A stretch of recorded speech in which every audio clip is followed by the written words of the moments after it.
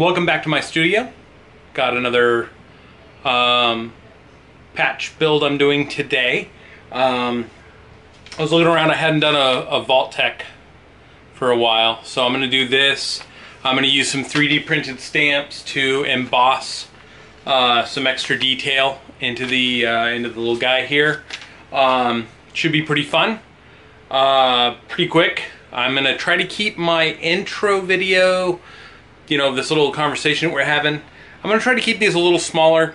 Uh, I imagine what's happening is that people are not, they want to see what they, you know, what I'm doing and not me talking. So, um, so, uh, more cutting, less yak, and that's always difficult for me.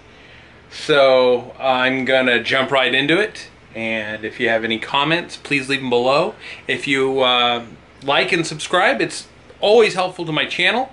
Um, trying hard to, to keep these videos going and um, thanking for your time. Thanks, bye. No, well not bye, but thanks.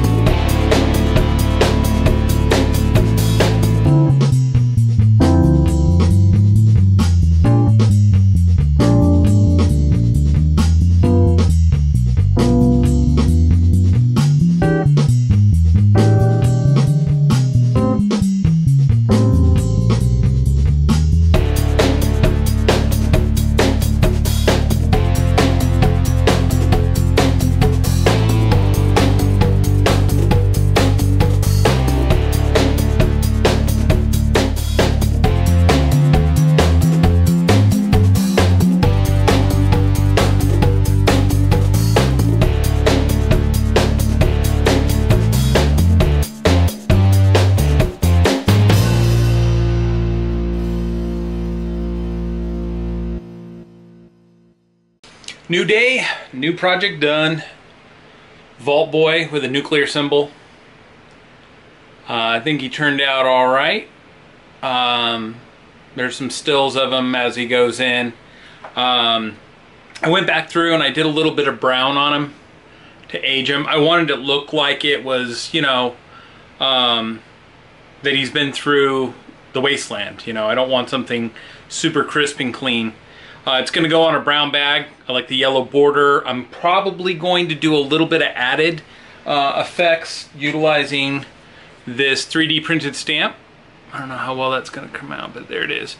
Little 3D printed stamp. So what I'll do is I'll take these really tall, small, tall, little small um, punches and there are little letters and numbers on them and I'll actually put Vault Tec and Vault 101 or Vault whatever and this will be put on a little square piece of leather and then this will go on the bag as well and I'll age that and then just put some you know just different I like making them uh, almost a theme but I try not to get too carried away because when I have these at shows, um, sometimes they're just a little too much. Uh, most of the time on my bags, I just put a single patch on it. Um, I've got a brown bag that I think this will look really good on. It may also go on a black bag. Uh, the the Rick patch that I just did, I'm gonna have to order a gray bag for this one. Um, it just it's the only way it works. Um, so either black because of the yellow I think might work really good with the black, but uh, when I get the bags done, I'm gonna do up a whole video set on just the way I do that and the way I apply them to the bags. And I'm gonna do some extra work. Uh, I keep telling, you know, I keep saying little extra work on like the Mises bag I've got and uh, a whole slew of them. So getting those things ready, trying to get them produced. Uh, I've got another um, Space Explorer I want to do, um, but uh, kind of a bumpy start for the week. But we're gonna do good. We're gonna we're gonna produce, produce, produce, and hopefully have something to show for it by the end of the weekend. Working on the holsters. Uh, got some final, got some contacts from people who want some more holsters. So thank you, uh, Reddit. I always uh, always learning how to use Reddit too. So um, got my Twitter account back up, so I'm doing that now. So remember, like and subscribe. Leave a comment below. Uh, if you like anything that you see, please just, you know, let me know what's going on. And uh, always, I appreciate it. Have a good one. Bye.